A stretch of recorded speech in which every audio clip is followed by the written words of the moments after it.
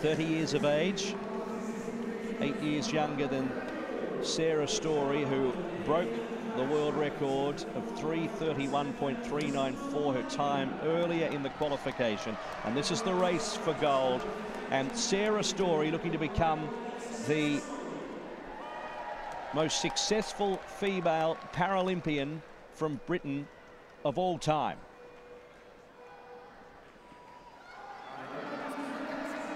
She's been confident coming into this final, mentioning that her weight has got down to around the 67 kilogram mark, which is suitable.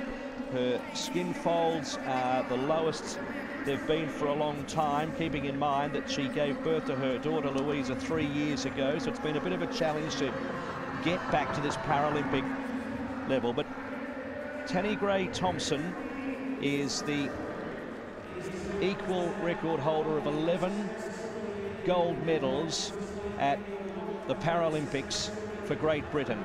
If Sarah is able to win here the gold medal, that'll be 12 gold medals, and that will mean that she's the most successful female Paralympian in British history.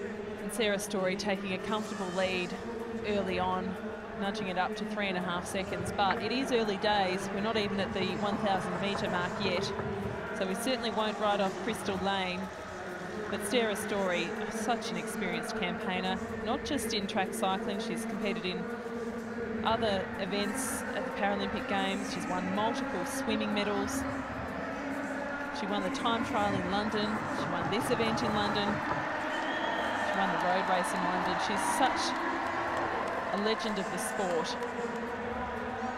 And it's actually a great honour to see her performing here today, especially when she's so obviously good shape and extremely confident. There we have it. There we have it. Sarah Storey.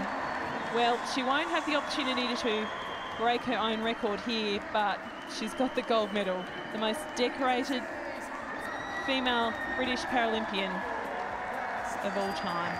Yep, five gold medals in the swimming pool. And now that's four gold medals on the track in cycling. And add to that the three gold medals on the road in cycling.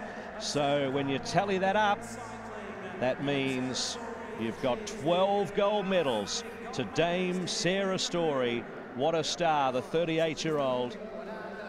And plenty of spectators would have gone to the velodrome tonight just to see a little bit of history created. And already on day one, we are seeing history with the gold medal, meaning that Great Britain are off to a flying start. There's 17 gold to be given away. Well, not given away, you have to earn it. but Great Britain have won the first two.